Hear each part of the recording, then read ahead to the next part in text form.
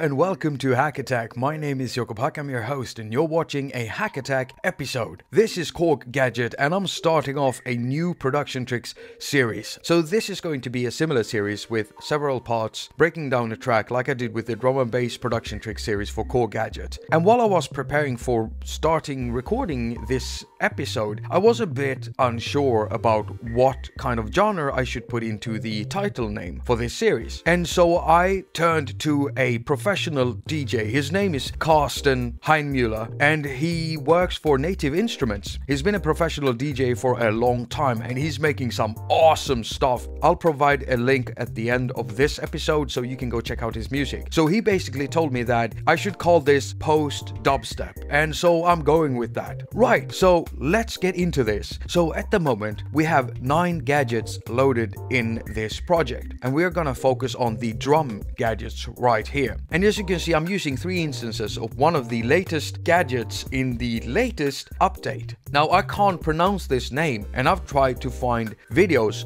on YouTube with someone actually saying it, but I can't find that. All I can find are videos where someone has used a text to speech program and they leave a lot to be desired. So if anyone here speaks Brazilian Portuguese, then why don't you put up a short video where you actually say it? Either way, I absolutely love this gadget. It's got some of my most favorite type of drums in there and it's perfect because it's got a UK garage set in there.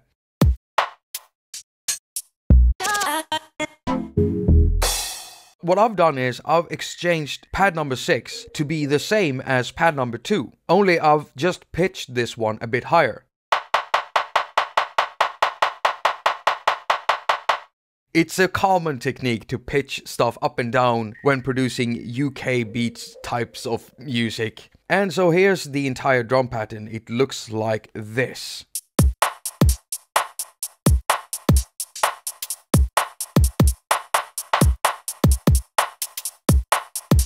Now for a track like this, I usually shadow my drums and you might wonder what that is. Well, it's basically me using another drum loop to create kind of a fill out in the background. And in this case, I've used the same drum loop, only I've processed it with effects.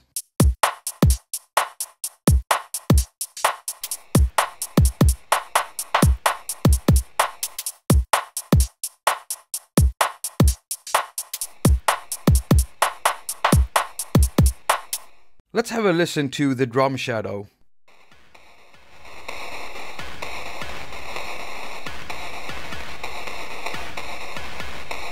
And this is basically the same drum kit with the same gadget, the same pattern. So what's making this sound like it does are the effects. And so we have to go into the effect strip here. So we press IFX and we get to the insert effect slots. As you can see, I've got four effects in here. And the first one is a compressor. And I do that basically just to even out the volume level for my track. Next, I've got a decimator and it's to crush the drum sound. After that, I've got a filter and it's set to bandpass mode and I've done that to filter off the high frequencies and the basic frequencies. I only need the mid frequency stuff for my drum shadow. Next, the most important thing for this drum shadow is the reverb because it makes the sound wet and it spreads it out in the audio spectrum. So let me play this back again and I'm gonna turn off the effects one by one.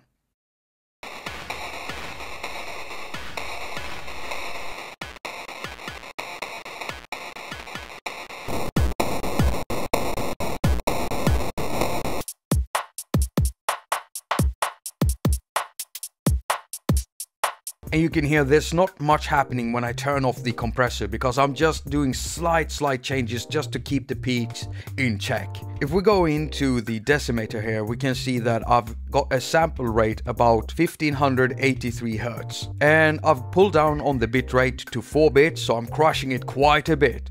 And the mix is up 100%, so it's basically just a crushed signal coming out of there. Now we go back, I'll turn these on and we're gonna mix the signal back in.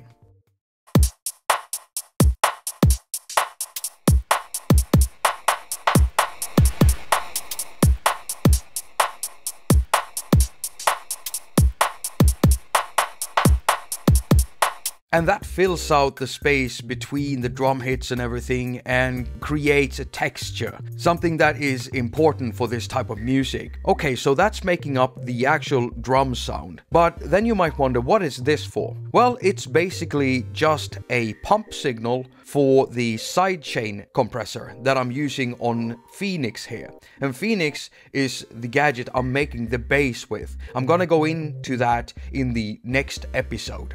This way of sidechaining is something I do always. If you want to know more about that, I've got an awesome episode explaining what sidechain compression is, how it works, how to set it up, and why I choose to work like this. It's all explained in that video. I'll link to it at the end of this episode. Right, so that sums up the drum part of this series, and in the next one we're gonna go into the bass. So before I round this video up, in the beginning of this episode I talked about Carsten Heinmuller, also called Soul Mind, and I suggest you go check out his uh, stuff on SoundCloud. One of the latest things he's got there, it's a 1 hour and 40 minutes mix, and it's one of the best mixes I've ever heard. We had a talk about that when I was there for the mobile music in the Making Symposium 2017, putting it out there so you know what year I'm talking about. And I met up with Carsten for lunch and coffee. He's a great guy and he's an awesome DJ. When I started listening to that mix, I'll just put in a splash screen here of that thing.